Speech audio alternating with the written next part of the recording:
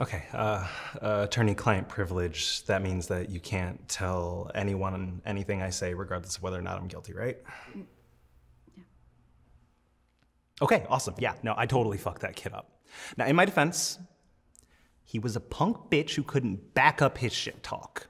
Look, kids today, they don't appreciate a good bully. They're cut off from the real world, hiding behind anonymous screen names and telling people to kill themselves in their DMs.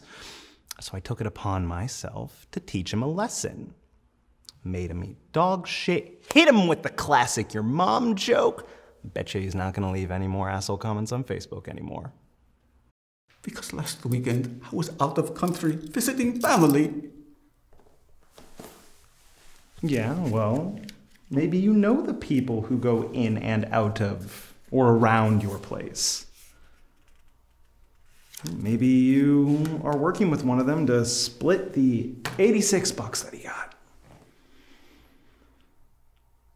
Look, I'll be honest. I didn't have any time to do the investigative work this week. All right, I have been so swamped. Okay, my wife has been all over me about the fact that we don't go on enough dates anymore. The captain has been literally in my ass because I got allegedly too drunk at the Christmas party last week.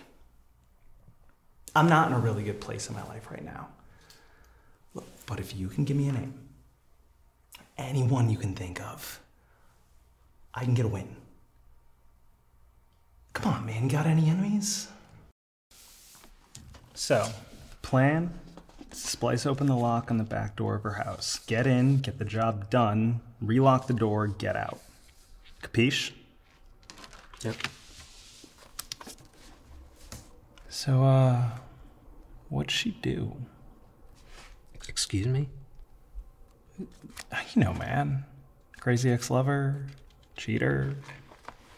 Like the last dude I was working with. I guess his lady friend was threatening to tell his wife about their affair. Uh, he was buying her all sorts of fancy shit. Uh, one day, it wasn't good enough, I guess. So he had her killed. Wait, wait, what?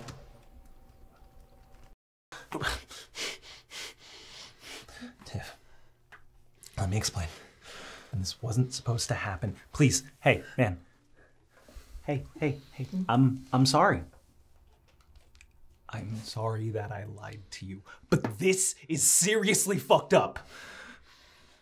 You don't have to do this, especially not to her, okay? It's me you want.